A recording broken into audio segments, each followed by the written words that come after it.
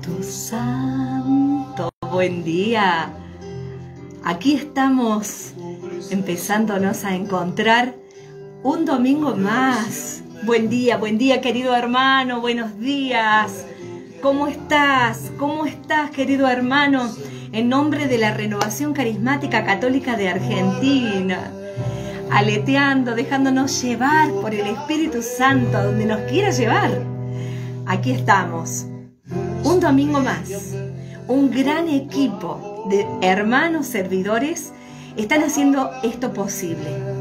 Desde el diseño gráfico, desde cada copy que le decimos, cada mensajito que escribimos en, este, en esta red del Espíritu Santo, cada cada equipo, cada nuestro querido coordinador, hay tanta gente que nos está ayudando para que podamos hacer posible que entre todos, incluido vos, podamos salir a dar un mensaje de este Espíritu Santo que quiere venir nuevamente de una manera renovada a nuestras vidas. Hoy todos estamos esperando la bendita presencia de nuestro querido amigo Fray Nelson Medina, que en un ratito nomás ya lo vamos a invitar. Vamos a ir esperando que se conecten, que cada que vayan llegando todos y vamos saludando. Buen día, querido Fray Nelson, ya estás listo ahí. Estamos esperando un poquito más a nuestros amigos que se vayan sumando. Bendecida mañana, bendecido domingo. Vamos saludando a todos, Alejandra, Eugenia, desde distintos lugares se van a ir sumando para poder encontrarnos y dejándonos llevar por este Espíritu Santo, quiero decirles que hay tanta gente que está orando por este encuentro y haciéndonos llegar el amor que le tienen a, Fray. Así que bueno, seguramente que él va a recibir también en este fuego que arde, como dice esta canción. Bueno, muy bien. Renovación Carismática Católica Argentina lanzándose hacia afuera, mar adentro como quiere el Señor para poder llevar este mensaje de esperanza. Bueno, vamos nomás entonces. Eh, quiero contar antes, antes que nada, que eh, tenemos un plan precioso para encontrarnos en Pentecostés. El domingo 23 a las 21 horas, después vamos a pasar bien estos datos. Vamos a tener también un Pentecostés aquí precioso. Bueno, vamos a invitar entonces ya mismo a nuestro querido Fray Vamos a pedirle la solicitud, enviarte la, invitación. Por favor. Ahí vamos, nomás estamos listos, dándote la bienvenida, querido padre. Ahí está. buen día, buen día, querido padre. Muy buenas, saludos desde Colombia. Qué alegría poder encontrarnos y qué alegría hacer juntos este camino hacia Pentecostés, al encuentro con nuestro gran amigo. Así es, querido, bueno, eh, querido Padre Nelson, Fray Nelson, eh, yo te quiero hacer llegar primero tanto cariño desde esta tierra, desde Argentina. Vos no te das idea cómo aquí te quieren y esperan esa palabra de, lo que Dios te ha regalado, ¿no? que te ha permitido, permitido hacer carne. Así que, eh, quiero que recibas eh, en, nombre, en nombre de todos los argentinos un cálido afecto, un cálido abrazo y, digamos el cariño que te tiene esta gente bendita. Así que creo que eso lo sabes muy bien, pero siempre es lindo que te mandemos este abrazo. Y, también estamos eh, agradecidos a Dios de que a través de la virtualidad que podamos tener, Padre, podamos tenerte entre nosotros. Así que bueno, también quiero que sepas que oramos por tu bendita tierra, que sabemos que es un momento difícil que se está atravesando, ¿no? Así es, así es, y muchas gracias por el cariño y por las oraciones. Gracias.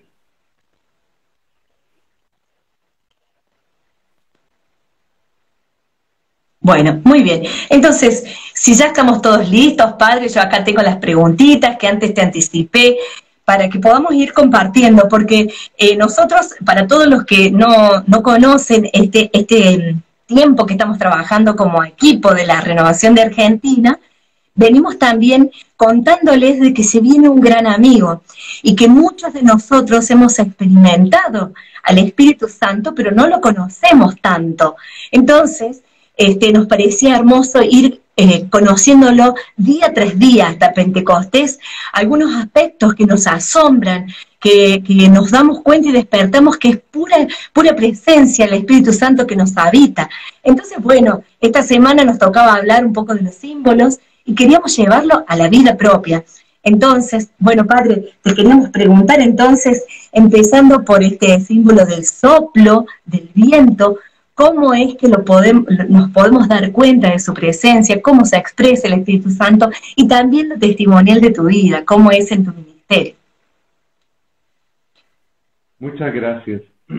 Yo, yo quiero empezar recordando que tenemos todos estos símbolos o estas imágenes del Espíritu Santo que nos están diciendo de la riqueza que hay en el espíritu.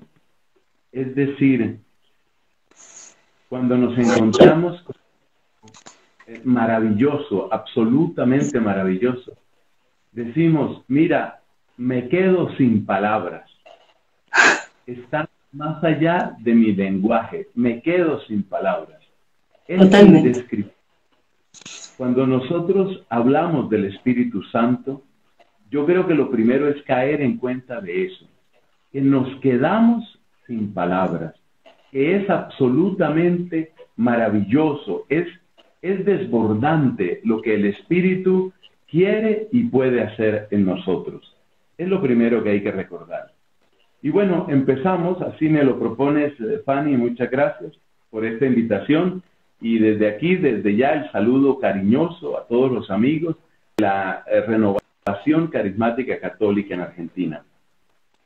El viento, el soplo. ¿Qué es lo característico del viento? Que sí actúa, pero dos cosas. No lo puedes ver y no lo puedes atrapar. El viento obra en nosotros el viento obra, lo sentimos, pero no lo podemos ni ver, ni lo podemos tampoco atrapar. Esta característica del viento nos dice algo muy importante sobre el espíritu. Que no, lo que, no lo podemos ver no quiere decir que no veamos sus obras. Porque fíjate que cuando hay un viento, que puede llegar a ser incluso un viento devastador, vemos lo que hace el viento, pero al viento mismo no lo vemos. Esa es la clave. Entonces, nosotros vemos lo que hace el espíritu, pero al espíritu mismo nosotros no lo vemos. Y en cierto sentido, no lo podemos anticipar. Está más allá de lo que podemos anticipar, porque siempre supera nuestras expectativas. Y lo otro que me parece muy bello de esta imagen del viento es que el viento no lo podemos atrapar. No somos dueños del viento. Así, por ejemplo, en el capítulo décimo de Hechos de los Apóstoles, nos damos cuenta que está Pedro predicando en la casa de un pagano. Esto ya era demasiado extraño para los judíos, porque los judíos evitaban a toda costa entrar en casa de los paganos. Pero la sorpresa del Espíritu Santo es todavía mayor, porque el Espíritu cae, ese es el verbo que se utiliza, cae sobre aquella gente. Eso no estaba en la agenda de nadie. Eso no estaba planeado. Eso no estaba programado. Por eso, fíjate que ahí se ve el viento. No, no lo ves, no lo ves. Y luego cuando Pedro se da cuenta de lo que está sucediendo, cuando Pedro se da cuenta de la acción del Espíritu sobre aquella gente, entonces dice, ahora, ¿cómo le voy a negar yo el, el, bautismo a aquellos a quienes Dios ha amado con el mismo amor que nos ha amado a nosotros? Es decir, Pedro no obra como un dueño del Espíritu, sino como un servidor del Espíritu. Nosotros no lo atrapamos, no lo tenemos encerrado en una cajita para decir es nuestro y tiene que hacer lo que nosotros queremos, sino que es Él, como bien nos enseñaba su santidad Juan Pablo II, es Él el Señor y dador de vida. Él es Señor, Él es Señor. y eso se manifiesta en que no lo podemos atrapar. Es una imagen absolutamente preciosa, una imagen que aparece, por ejemplo, en el capítulo segundo de, Hechos de los Apóstoles, cuando se cuenta el milagro de Pentecostés. Nos dicen ahí que se sintió un viento impetuoso, un viento impetuoso que llenó toda aquella casa y que sacudió a todo Jerusalén. Ese es el viento que nosotros estamos esperando para que también haga su obra en Pentecostés. Qué hermoso, Padre. Algo chiquito que te traigas, que tengas en el corazón de esta experiencia, de un impulso, de un soplo del Espíritu en tu ministerio. Debes tener millones. Bueno, hay un don del Espíritu Santo que algunas veces he podido eh, vivirlo por misericordia de Dios. Es lo que llamamos palabra de conocimiento. En algunas ocasiones, cuando se hace oración por una persona y en otras oportunidades, en la confesión, me he encontrado con esa palabra de conocimiento. Es decir, que uno llegue a saber algo que no tendría por qué saberlo y que uno solo puede sentirlo como el susurro del Espíritu Santo. El Espíritu que susurra y que dice, mira, aquí lo que está sucediendo es esto. Aquí la obra del Espíritu está en este sentido. Y es algo que impresiona mucho a la gente. Es algo que impacta mucho. Porque la persona pregunta, pero usted cómo puede saber eso? Y desde luego que no es uno. Es el don del Espíritu Santo que da ese, con su paso, da ese conocimiento, da esa luz. ¿Y para qué la da? Para que la persona se sienta conocida, amada y transformada por el amor de Dios. Esa es la razón por la que el Espíritu hace sus maravillas. Qué maravilla, Padre. Qué hermoso, Padre. bueno, va a haber mucha gente que seguramente va a querer estar, este, mira, desde Perú, ahora en Argentina, bueno, va a querer estar también preguntando si hay un espacio y nos queda tiempo, también estaría lindo eh, compartir. Bueno, padre, como yo me hice mi machete, me permito ante este invitado leer la pregunta. bueno, eh, decimos eh, que el Espíritu Santo es como fuego que arde pero no, no se consume, que puede transformar nuestras vidas. ¿Cómo comprender mejor este aspecto, este símbolo del fuego del Espíritu Santo?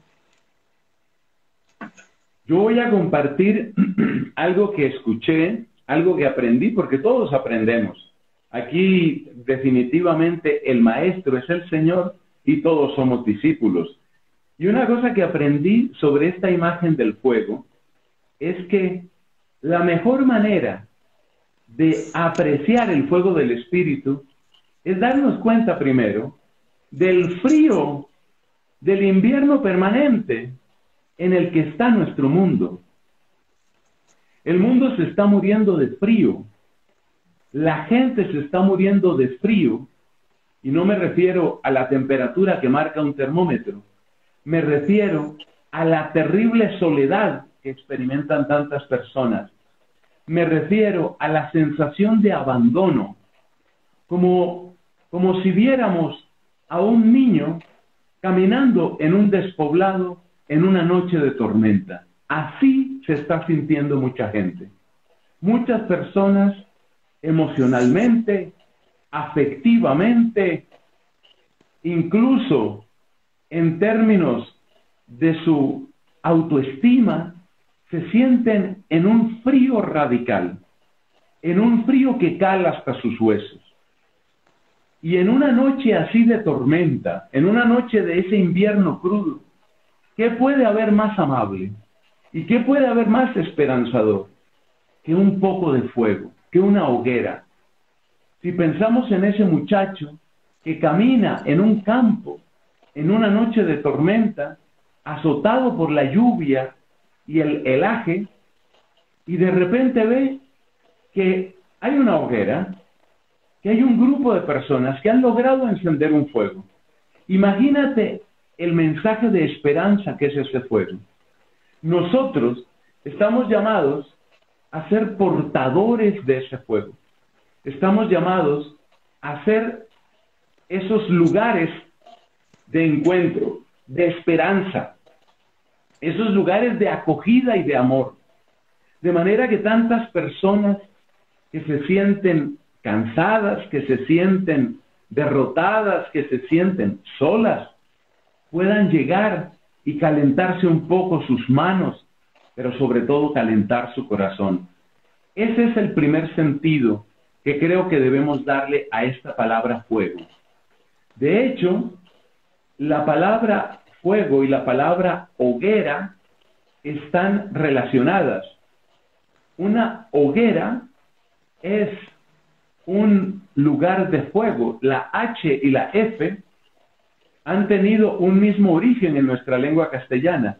Una hoguera es una foguera.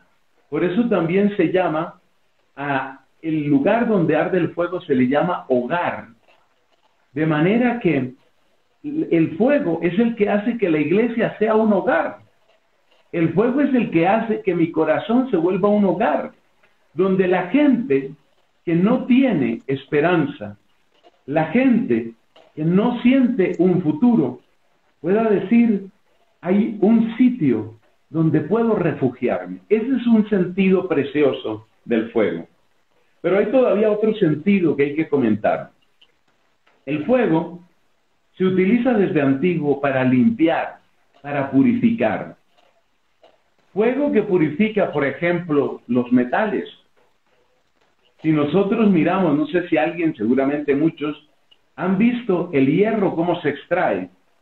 El hierro, por ejemplo, cuando se extrae de las minas, en ningún momento parece un metal, parece una piedra y una piedra sucia. Es impresionante, búscalo en internet y ahí lo tienes. el hierro? Es como una piedra sucia.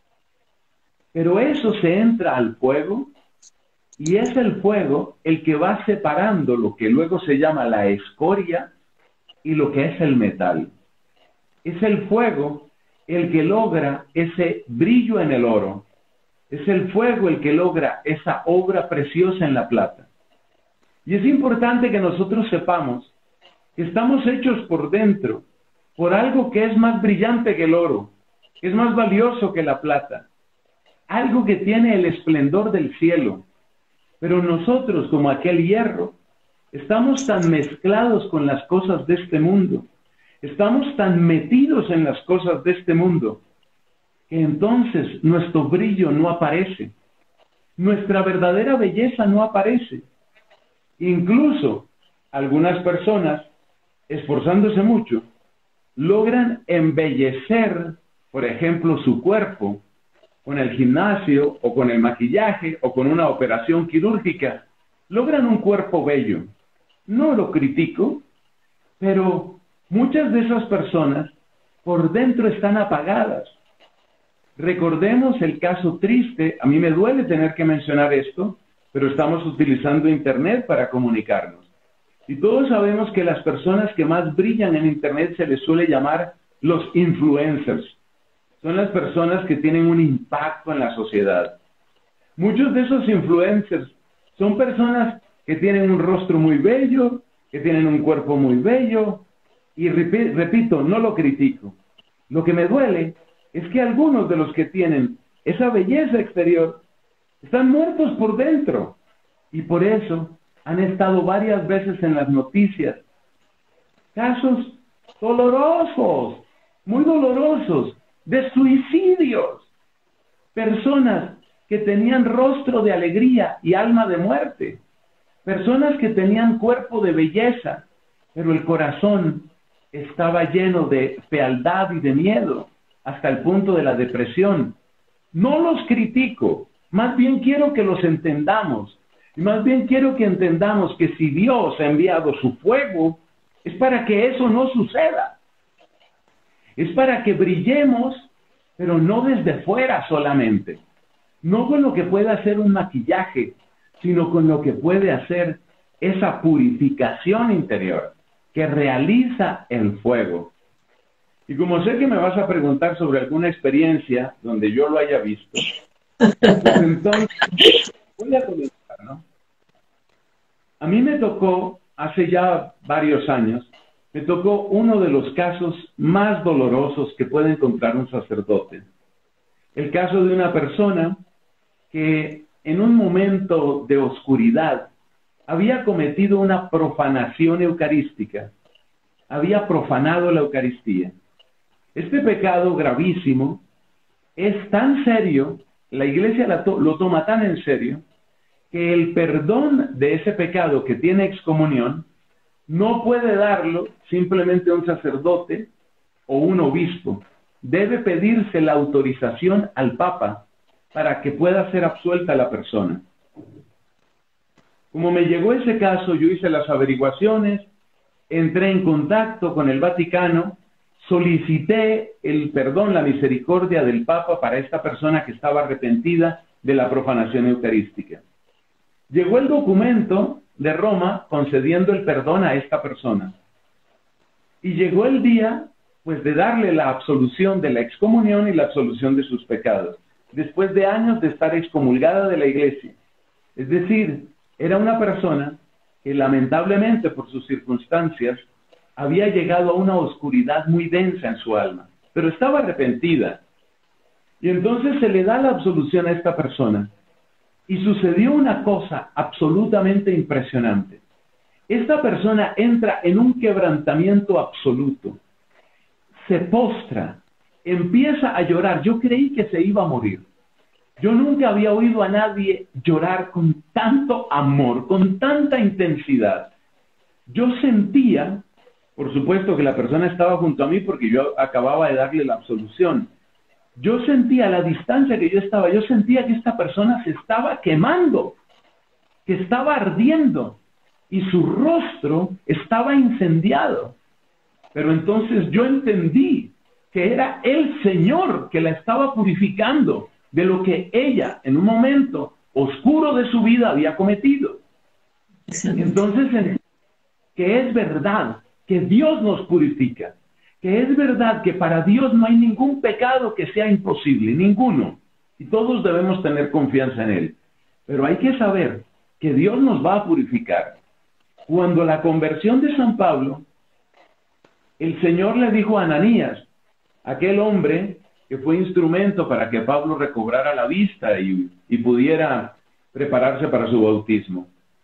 Dios le dijo a Ananías, yo le mostraré, refiriéndose a Pablo, yo le mostraré lo mucho que tiene que sufrir por mi nombre. O sea, vendrá purificación. Y vaya purificación la que le tocó a Pablo, vaya purificación. O sea que el fuego, por una parte, signo de esa acogida preciosa, y eso nos lo da el Espíritu, pero el fuego también es intensidad de amor de Dios que nos limpia. Por eso algunos santos, como San Luis Bertrán, que es el patrono de nosotros los dominicos aquí en Colombia, algunos santos le han dicho al Señor, quémame, quémame por este fuego, quémame, quémame aquí, para que no tengas que quemarme después. Esa purificación por el fuego después es la que sucede en el purgatorio. Entonces los santos dicen, yo mejor voy adelantando purgatorio aquí, purifícame aquí, límpiame aquí, yo que me voy a poner a esperar a ver cómo es ese fuego de allá, yo mejor me quedo con el fuego de aquí. Y esa frase de San Luis Bertrán se recuerda en su lengua original porque él la rezaba así en latín, ic ure, que quiere decir quema aquí, para que no tengas que quemar allá. Y nosotros tenemos que pedirle eso al Señor, danos los quebrantamientos, danos la purificación que necesitamos para realmente responder a tu amor y para que salga el brillo, para que dejemos de ser como esas películas de los muertos que caminan, para que salga el brillo y para que se vean nuestros ojos, que estamos vivos, completamente vivos en el nombre del Señor. amén. Amén, Padre. Qué hermoso. Impresionante. Impresionante, Padre, este momento. bueno, ¿cómo estamos? Padre, gracias por tanta sabiduría. Bueno, vamos con la próxima pregunta. Bueno, al decir que el Espíritu Santo es como una paloma que de alguna manera también nos invita a elevar nuestra mente a Dios. Y también eh, de lo que hemos ido preparando, también leíamos de que hay un aleteo interno en el alma, este movimiento del Espíritu Santo. Bueno, Padre, ¿cómo nos, ¿qué nos podés decir acerca de esto, no? Hay algo muy interesante sobre la manera como los judíos miraban eh, el cosmos, el universo, la manera como ellos miraban las cosas. Dice un salmo, la tierra se la ha dado a los hombres, el cielo es el lugar del Señor. Atención a eso. El cielo, entendido de una manera gráfica como el firmamento, es llamémoslo así, lugar divino. La tierra es la tierra de los vivos, la llama así los salmos. La tierra es lugar de los hombres. Entre la tierra y el cielo, es decir, no tan alto como es el cielo, pero sí por encima de lo que podemos nosotros los hombres, está esa zona intermedia, que ellos llamaban los aires, los aires. Entonces, atención que esta es la imagen que tiene, por ejemplo, un San Pablo. Atención que, que, es muy interesante esto. En la cosmovisión de ellos, en su visión del universo, está la tierra, lugar de los hombres, está el cielo altísimo, lugar de Dios, y en el medio están los aires. Los aires son más grandes que nosotros, pero son menores que Dios. Bueno, si nosotros vamos a Efesios capítulo 6, nos encontramos que se habla del espíritu del mal como el espíritu que está en los aires. Ojo a eso, está en los aires. Que el mal no es más grande que Dios porque acuérdate que el cielo está mucho más arriba. El mal no es más grande que Dios, pero el mal sí es más poderoso que nosotros. Y yo creo que esa es la experiencia que uno tiene muchas veces, sobre todo cuando tiene que luchar una y otra vez contra un pecado. Yo creo que todos tenemos algún pecado, o algunos, que nos cuestan mucho y que nos preguntamos, ¿cómo hago con este pecado? ¿Cómo hago? porque parece que me la gana. En alguna persona puede ser la ira, en otro la codicia, en otro la lujuria, en otro la soberbia, la mentira. Pero siempre parece que hay algo que es como, como más fuerte que nosotros, que es mayor que nosotros, pero que sabemos que no es mayor que Dios. O sea que este lenguaje de los aires, los aires indica esa región intermedia, es la región donde se supone que está el mal. Los aires son el lugar que es más grande que nosotros y por eso nos gana, pero es menor que el cielo de Dios. Bueno, ¿a qué viene toda esta explicación que ya está un poquito larga, pero es que es interesante? No, no, pero... En Efesios, Efesios 6 dice San Pablo claramente que ese espíritu del mal, dice, nuestra guerra espiritual no es contra la carne y la sangre, es decir, no busques tus enemigos en otras personas humanas. No busques tus enemigos ni en el gobierno ni en los comunistas. No busques tus enemigos ni en la guerrilla ni en los paramilitares. No busques tus enemigos ni en los ricos ni en los pobres. Nos dice San Pablo, Efesios capítulo 6. Y dice, nuestra guerra no es contra la carne y la sangre, sino contra el espíritu de los aires. Esa es la idea que ellos tenían. Bueno, ahora vamos con la paloma. En los aires se supone que estaba la obra del espíritu del mal. Pero cuando llega el bautismo de Jesucristo, ¿en dónde se manifiesta el Espíritu Santo? En los aires. Es decir, esa paloma que vuela majestuosa, que vuela poderosa, a la que nadie puede detener, que recorre entre cielo y tierra. Esa paloma es la vencedora de los espíritus de los aires. Es decir, esa paloma significa que ya no le quedó ningún rincón al demonio, porque la tierra es de los hombres, el cielo altísimo es de Dios, donde se supone que podía obrar eran los aires, pero esta paloma que vuela majestuosa, que vuela soberana, que planea y que se y que se pasea por los aires, nos muestra que ya no hay ningún espíritu que pueda tener poder sobre nosotros, porque la paloma reina, porque la paloma vuela en todo ese espacio. Esto hay que relacionarlo con una expresión que tiene nuestro Señor Jesucristo en el Evangelio según San Lucas. Es una parábola. Resulta que a Cristo lo acusaban terriblemente, de manera blasfema, lo acusaban diciendo, si logra expulsar los demonios, es porque tiene el espíritu, el jefe de los demonios. O sea, lo trataban de endemoniado a Cristo. Y Cristo entonces dice esta parábola. Cuando un hombre bien armado está en su casa, se cree seguro, pero llega otro que es más fuerte y le quita aquello en lo que se creía seguro y lo expulsa. Ese primer hombre fuerte que se cree dueño es el poder del pecado, es el poder del diablo, que se cree fuerte y que cree que nos va a dominar para siempre y que cree que puede sobre nosotros. Y el más fuerte que llega es el Espíritu Santo, como la paloma que vuela en los aires y que sobrepasa sin obstáculo a todos los espíritus de las tinieblas. Y por eso también en ese pasaje de San Lucas dice Cristo,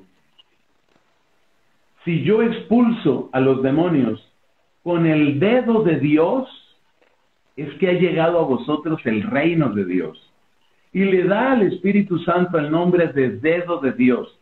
Dedo, dedo de Dios que expulsa al demonio. Como yo de niño jugaba con estas esferitas, canicas, eh, como las llaman en distintos lugares, uno recuerda que con este movimiento uno movía la bolita. Y a mí me encanta recordar esas palabras de Cristo para decir que eso es lo que hace el Espíritu. El Espíritu hace así y expulsa al demonio. Con esto, expulsa al demonio. Eso es lo que muestra la paloma. La paloma muestra esa majestad de Dios que se pasea por los aires y que ya no le deja espacio a nadie que no sea Dios para que tenga poder en nosotros. Por eso nosotros ya no estamos bajo ninguna condena y nosotros ya no estamos bajo ningún espíritu de tinieblas. No puede nada el espíritu de los aires, no puede nada contra esta paloma blanca, brillante, potente, majestuosa. Testimonios sobre esa acción, sobre esa acción del espíritu. En alguna oportunidad eh, vino aquí a este convento donde yo vivo, yo vivo en el convento de Santo Domingo, aquí en Bogotá. Vino a este convento un muchacho con una historia muy triste. Uno de estos muchachos que empezaron con algo de droga, rock metálico, rock pesado, rock satánico, y el muchacho estaba convencido de que él estaba poseído. Quizás sí, lamentablemente. Quien se pone a jugar con el espíritu de las tinieblas, nada bueno puede esperar. Yo soy muy prudente con este tema de las liberaciones y todo esto, muy prudente, y sobre todo quiero ser, y así me lo conceda Dios, muy pero muy obediente a lo que manda la iglesia. Y lo que manda la iglesia al respecto es que para hacer propiamente un exorcismo se necesita la autorización expresa del obispo del lugar. Así que yo en ese momento, cuando hablé con este muchacho, yo no iba a hacer el exorcismo, porque yo soy consciente de que hay que ser obedientes a la iglesia. Y desde aquí exhorto a todos a que siempre seamos obedientes a la Santa Iglesia, en todo. Bueno, este muchacho entonces va a hablar conmigo y en este momento yo no puedo decirles si sí estaba o no estaba poseído, pero eso no es lo más importante. Lo más importante es ver la majestad del Espíritu. Este muchacho se pone a hablar conmigo, estamos en una sala, se pone a hablar conmigo. Me mira a los ojos con desprecio, con rabia. Por supuesto, él sabe que yo soy sacerdote. Y mirándome a los ojos me dice, usted no puede nada contra mí. Esa es la soberbia del espíritu de los aires. Te repito, yo no sé si en ese caso específico había o no había posesión, pero eso no es lo más importante. Es la altanería, es la arrogancia del espíritu de los aires, según la manera como pensaban los judíos. Todos nos entendemos ya. Entonces me dice él, mirándome, así con desprecio, con arrogancia, usted no puede nada contra mí. En ese momento, yo sentí la acción del Espíritu Santo. En ese momento. ¿Tú has oído eso que dice el Señor en el Evangelio? Que nosotros no tenemos que preparar la defensa, sino que en ese momento el Espíritu Santo nos dirá lo que tenemos que decir. Pues eso fue lo que me sucedió. Yo sentí el paso del Espíritu y entonces sentí que el Espíritu me decía lo que le tenía que responder. Eso fue bello. Me dice este hombre, usted no puede nada contra mí. Y yo lo miro, yo le sostengo la mirada, porque miedo no hay que tener. Le sostengo la mirada y le digo, usted tiene razón, yo no puedo nada contra usted. Se queda asombrado, él no esperaba que yo dijera eso. Se le cambió la cara pero no le cambió ni de alegría ni de tristeza, sino de sorpresa. Y entonces le digo yo, usted tiene razón, yo no puedo nada contra usted, pero Cristo sí puede todo contra usted. Él no se esperaba que yo dijera eso. Esa es de las veces que yo he sentido el aleteo del Espíritu Santo. ¿Qué había que responderle a ese señor? A partir de ese momento la conversación cambió. A partir de ese momento, la arrogancia se acabó. Yo no sé si hubo liberación o no hubo liberación, hasta ya no me contó el Espíritu Santo, pero que es de las veces que yo he sentido el aleteo del Espíritu y cómo el Espíritu es el que siempre proclama el señorío de Jesucristo. Siempre el Espíritu, como dice San Pablo, nadie puede decir Jesús es el Señor si no es movido por el Espíritu Santo. Fue algo hermosísimo. El Espíritu Santo vive y actúa y Él es Señor por encima de lo que quieran los espíritus de los aires. Amén. Tremendo, Padre. Qué hermoso, qué hermoso, Padre, todo lo que nos estás compartiendo. Es una manera tan, tan edificante de poder, em, digamos, refrescarnos y ponernos en marcha y, y estar anhelantes de lo que va, lo que está pasando ahora y lo que va a pasar en estos días, ¿no, Padre? Tremendo. También, también viene un símbolo muy fuerte, muy, muy eh, hermoso, que es el del agua, Padre.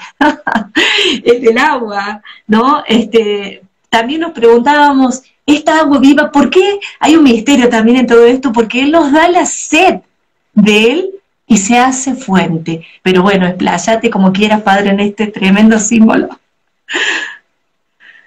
Sí, el, símbolo del agua es así como tú dices, es tremendo símbolo, tremendo símbolo.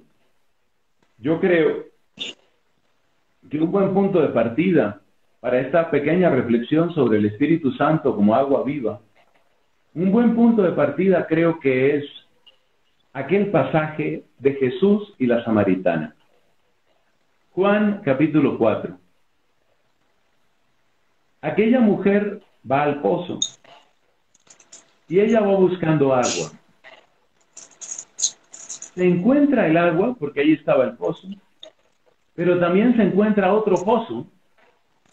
Ella iba buscando un pozo y encontró dos. Un pozo era el pozo de Jacob, el otro pozo era Cristo. Pero este pozo que es Cristo es un pozo raro, porque es un pozo que tiene sed.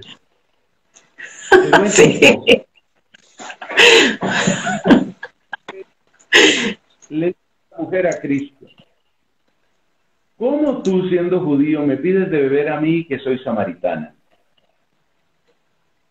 Y Cristo le responde, si conocieras el don de Dios y quién es el que te pide beber, le pedirías tú a él y él te daría agua viva.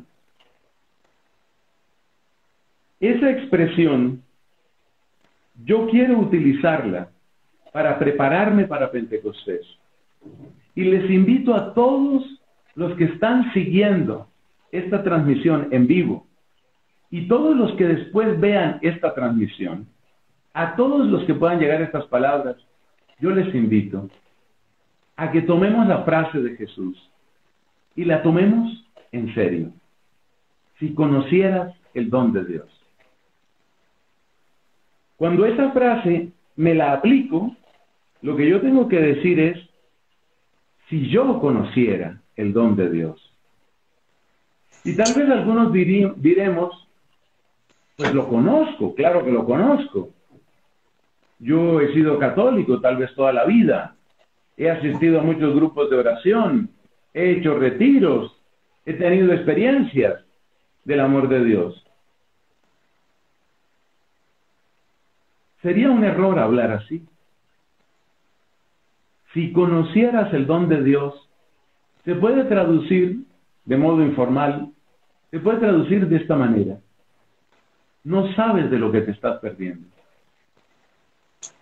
Y yo creo que nosotros, cada uno de nosotros, tiene que hacer suya esa expresión. La verdad es que yo mismo no sé de lo que me estoy perdiendo. No sé de lo que me he perdido toda la vida. Aquella mujer había tenido varios amores. Por eso se dice que había tenido varios esposos, cinco, seis, y vivía con un hombre que tampoco era su esposo. Eso se lo mostró Cristo a ella. Ella tenía esos amores, pero ella no sabía de lo que se estaba perdiendo. Y por eso es importante que nosotros, sobre todo para preparar efusión, sobre todo para preparar Pentecostés, es muy importante que nosotros nos repitamos muchas veces esa frase. ¿De qué me he estado perdiendo? ¿Y por qué ella se había estado perdiendo del don de Dios? Porque se había conformado con dones chiquitos los regalos chiquitos la habían saciado y resulta que es un don, es un regalo la sed. Porque donde hay sed, se va a cumplir la palabra que Cristo dijo en el Sermón de la Montaña. Pedid y se os dará. Llamad y se os abrirá. Donde hay sed, hay esperanza. Cuando una persona se siente saciada, la persona que está saciada es la persona que ha perdido su mejor oportunidad porque se detuvo. En cambio, el que tiene sed busca, como dice el Salmo, como busca la sierva corrientes de agua, así mi alma te busca a ti, Dios mío. Entonces lo que hizo Cristo fue rascar en el alma de esta mujer, rascar en esa alma para que volviera a brotar antes que el agua la sed, para devolverle la sed. Cristo le quitó la anestesia. Cristo le quitó el narcótico que la mantenía con una saciedad falsa. Y por eso una oración muy bella que podemos y debemos hacer cuando queremos pedir efusión del Espíritu es, quítame la saciedad falsa, quítame este contento mentiroso, quítame esta tranquilidad tramposa, quítame este marasmo que me aprisiona, quítame eso. Cristo, no sé por qué me viene esa expresión, rascando, tal vez porque a veces al rascar se despierta, Cristo rascando en el corazón de ella, le devolvió la sed. Y cuando le devolvió la sed, entonces ella dijo, yo quiero de esa agua, yo no quiero cansarme más. Es decir, por fin, por fin ella descubrió que estaba cansada. Por fin ella descubrió que estaba buscando saciarse en cisternas agrietadas que no pueden retener el agua, como dice el profeta Jeremías. Jeremías dice, o mejor dicho, Dios dice a través de Jeremías, mi pueblo ha cometido dos pecados. Me han abandonado a mí, que soy la fuente viva, y se han vuelto a las cisternas agrietadas que no pueden retener el agua. Entonces, lo que hace Cristo es hacerle recuperar su cansancio, le quita el narcótico, le quita la anestesia. Ella estaba dopada, ella estaba atontada por el placer vano y pasajero que hasta entonces era su única esperanza. Cristo le devuelve la sed y le hace sentir el cansancio. Y de ahí viene una nueva oración para nosotros. Señor, hazme sentir cansancio, que me canse lo que no tenga sabor tuyo. Amén. Que me Señor, que me canse, que me fastidie lo que no tenga tu perfume que yo pueda detestar lo que pretende retenerme lejos de ti. Entonces Cristo le hizo sentir el cansancio y Cristo le devolvió la sed. Por supuesto, como ese era un corazón que estaba entre las pezuñas de Satanás, el diablo no le iba a soltar fácil. No, no la iba a soltar fácil. Por eso ella empieza a poner trabas. Los judíos decís que hay que adorar en Jerusalén y nosotros decimos que en este monte. Es decir, pongámonos a hablar de otras cosas.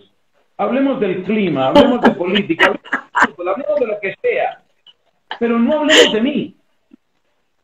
Eso es lo que quiere el enemigo, que vivamos perpetuamente distraídos, perpetuamente embotados, perpetuamente atontados, con una falsa saciedad, en la trampa de una tranquilidad que nos mantiene prisioneros. Señor, que yo sienta fastidio, que me canse lo que no tiene que ver contigo, que me canse, Señor. Que me canse, que me fastidie. Observemos que eso fue lo que le pasó al hijo pródigo. Él iba cayendo cada vez más bajo, cada vez más bajo, pero no se daba cuenta, pero iba cayendo. Hubo un día en el que sintió asco, en el que sintió cansancio, en el que sintió fastidio, en el que él dijo, ¿hasta dónde he llegado? ¿Y hasta dónde tendré que llegar? O sea, ya estoy sintiendo ganas de comer lo que comen los cerdos. Cuando él vio a los cerdos comer sus algarrobas y sintió ganas de comida de cerdo, algo, algo pasó en la cabeza de él, algo pasó en su corazón. Y ese que pasó fue un regalo de Dios.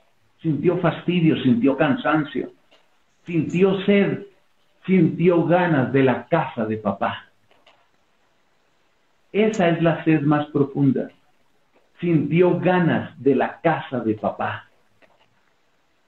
Y esa sed fue la que lo puso en camino, como busca la sierva corrientes de agua.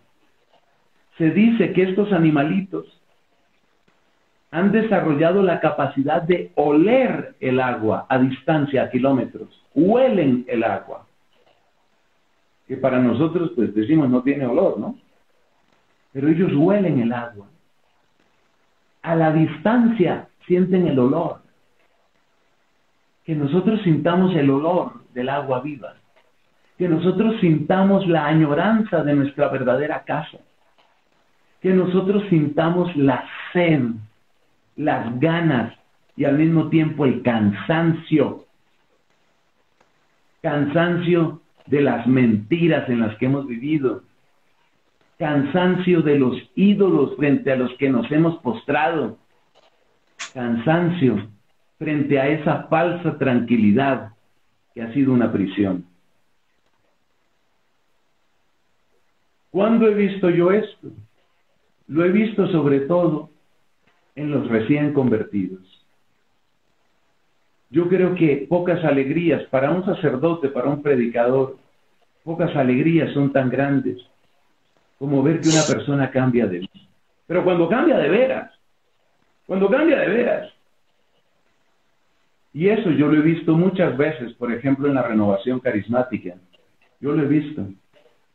Yo he visto cuando una persona realmente se da la vuelta y mira hacia Dios. Y esa sed que le da, esa es la persona que ya no quiere oír música del mundo porque le parece tonta y sucia. Y entonces pone alabanzas. Cuando va en su carro, por ejemplo, que tiene que ir, que recorrer unos kilómetros. ¿Qué tanto oír noticias y noticias todo el día? Sí hay que estar informados, pero volvernos esclavos de las noticias, ¿para qué? Entonces, en vez de estar oyendo noticias todo el día, o en vez de estar oyendo vulgaridades y letras tontas de cantos vulgares, poner alabanzas. Y esta persona, ¿qué tiene? Sed. Y quiere llenarse, llenarse. Y aquí cabe la frase que dijo Santa Catalina de Siena. Tú sacias el alma de una manera, en cierto modo, insaciable. Porque cuanto más nos alimentamos de ti, más hambre tenemos de ti. Frases de una santa doctora de la iglesia. Por eso yo creo que esta sed es una de las imágenes, esta agua es una de las imágenes más preciosas. Y hemos de pedirle a Dios eso, que yo sienta cansancio, asco de todo aquello que no venga de ti ni me lleve a ti y que yo sienta amor, deseo, impulso irreprimible de llegar donde tú estás y me estás aguardando. Amén. Amén. Amén. Amén. Bueno, se viene la unción. La unción, este símbolo tan fuerte, cuando nosotros con el equipo de, servidores estábamos trabajando este símbolo, eh, bueno, una de, las hermanas me decía, viste cuando tenemos ese perfume guardado eh, y que lo hemos tenido ahí, que es tan importante y es tan especial que solo lo vas a usar, y de repente capaz que hemos estado guardando con eh, esta, esta comparación tan, tan chiquitita y tan, tan lejos de lo que, de lo que significa la, la unción, pero queríamos traer, traer una imagen que nos sirviera para empezar a, darnos cuenta qué es lo que tenemos en esta unción que llevamos desde el bautismo, desde nuestra confirmación. Sí, la, la imagen de la unción, como tantas otras imágenes del Espíritu, es múltiple es múltiple, porque está la dimensión del perfume, que la vamos a dejar un poquito para, para el final, ya para, para el cierre, pero está también otras dos dimensiones que tiene la unción. La unción es aceite que penetra y la unción es bálsamo que alivia. De manera que la unción tiene por lo menos esos tres significados. Padre, te tiro una, perdóname que te interrumpa, nos quedan cinco minutos y, quiero que alcances con esta idea preciosa, Padre, solamente para eso decir. En favor de Dios. Empiezo porque es bálsamo que consuela, bálsamo que alivia. Isaías capítulo 40 dice, consolad, consolad a mi pueblo. Y el Espíritu Santo es llamado también el Espíritu de consuelo, Espíritu consolador. El consuelo es fundamental. El consuelo es fundamental porque, porque nuestros pueblos, igual lo puedo decir de Argentina, Colombia, Perú, Estados Unidos, Europa, nuestros pueblos son pueblos rotos, son pueblos maltratados, son pueblos que han sufrido por injusticia, por pobreza, por enfermedad, pero más adentro de eso, por egoísmo, por codicia. Y añádele todos los pecados que nosotros mismos cometemos y nos hacen daño. Entonces el Espíritu viene como bálsamo, bálsamo precioso, que sirve de consuelo, que sirve de consuelo. Yo pienso en una mamá que ve llegar a su hijo, el hijo estaba montando bicicleta y se ha dado un golpe terrible, seguramente por imprudente y por dárselas de artista. Pero antes que cualquier regaño, la mamá lo ayuda, lo consuela, le limpia la herida, lo abraza. Seguramente si es un niño pequeño está bañado en llanto. Eso hace el Espíritu con nosotros. Es como un rostro materno del Espíritu. Es de abrazarnos, abrazarnos y mimarnos y consolarnos. El Espíritu es unción que penetra. Como explicaba muy bien un obispo en una homilía, el agua corre por la piel, pero no entra. En cambio, las pomadas y los aceites entran. El Espíritu quiere entrar en mí. El Espíritu quiere entrar en mi vida. El Espíritu quiere llegar a cada área de mi ser.